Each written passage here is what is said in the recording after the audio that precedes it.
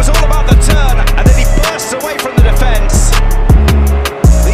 So many central defenders. Uh, Araujo actually started out as a, a centre forward. This one's pulled back, set up for a strike, and finds its way into the net. Goal for Barcelona. They are back.